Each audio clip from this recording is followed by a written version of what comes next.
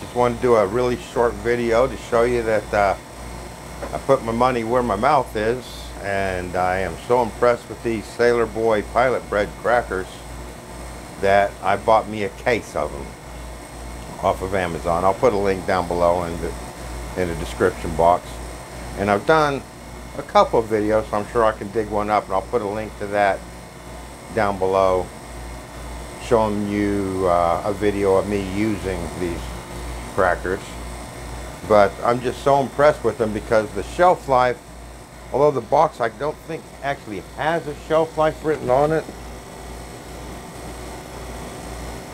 it says 513F2030 A1 and I'm thinking from what I read online it's about a 10 year shelf life in the box so I'm guessing that that 2030 is is uh, 13th day of May 2030 is the Best By.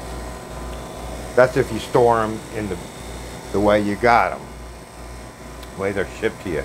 I'm going to be breaking these down and putting them in uh, mylar bags and probably vacuum sealing but certainly putting some O2s in them and uh, I won't worry about making like single portions of them because they have such a long shelf life once they're open. But I'll break them down to a more manageable because when you open these up you get this big long tube let me get this so I can in the tin of these. And that's just a lot. So I'll probably package them up maybe a half a tube or something like that. Maybe cut the tube into three. You get about 30 biscuits, I think, to a tube. 1, 2, 3, 4, 5, 6, 7, 8, 9, 10, 11, 12, 34, 7, 8, 9, 20, 1, 2, 3, 4, 7, 8, 9, 30, 1, 2, 3, 4, 5, 6, 7, 8, 9, 40, 42, somewhere around there. So I'll probably put like 10 of them in a 10 or 12, maybe 12 would be a good number, into a Mylar bag. But I just wanted to show you that uh, I'm not talking smack when I say that these are really good. They're not, they're not hard as rock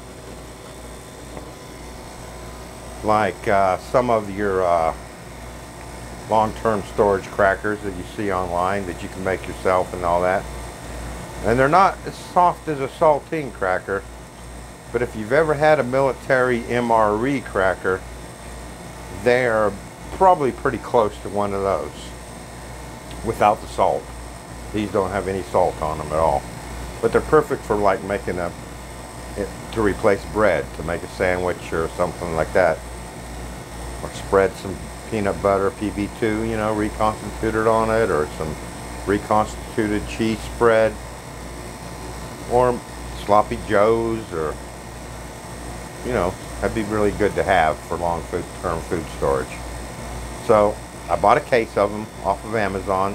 They're not cheap, but I think it's cheaper to buy them this way. I think uh, one of the, uh, what do you want to call them? freeze-dried wholesale suppliers that sells cans and stuff do have a uh, pilot bread uh, in a tin, but I think they're a lot more expensive per cracker than these are. I really highly recommend these, so let me put, let me finish this video. I'll put a link to the crackers on Amazon. That'll be an affiliate link.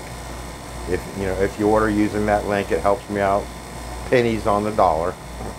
And uh, I'll put a link to one of my videos where I use these in. So, I'll see you in the next video.